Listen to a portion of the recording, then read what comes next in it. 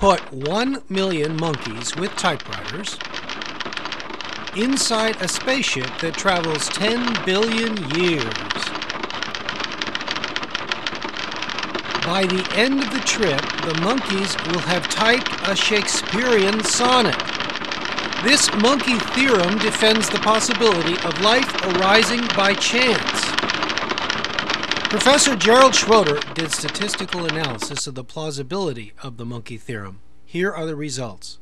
Schroeder first referred to an experiment conducted by the British National Council of Arts. A computer was placed in a cage with six monkeys. After one month of hammering away at it, the monkeys produced 50 typed pages, but not a single word.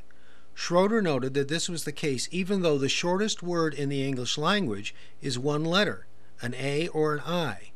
A is a word only if there is a space on either side of it. If we take it that the keyboard has 30 characters, then the likelihood of getting a one letter word is 30 times 30 times 30, which is 27,000.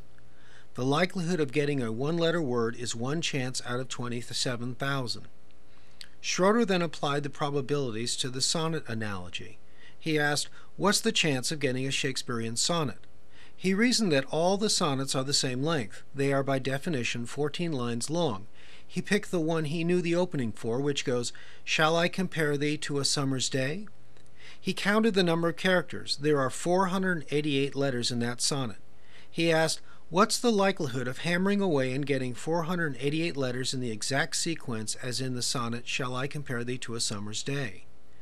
What you end up with is 26 multiplied by itself 488 times, or 26 to the 488th power, or, in other words, in base 10, 10 to the 690th. This is where it's really interesting. The number of particles in the universe, not grains of sand, we're talking about protons, electrons, and neutrons, is 10 to the 80th. 10 to the 80th is 1 with 80 zeros after it. 10 to the 690th is one with 690 zeros after it. There are not enough particles in the universe to write down the trials. You'd be off by a factor of 10 to the 600ths.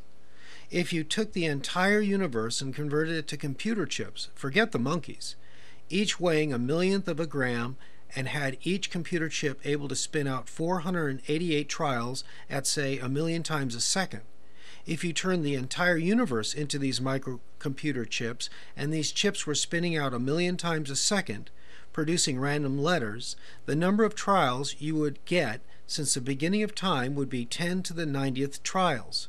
It would be off again by a factor of 10 to the 600th. You will never get a sonnet by chance.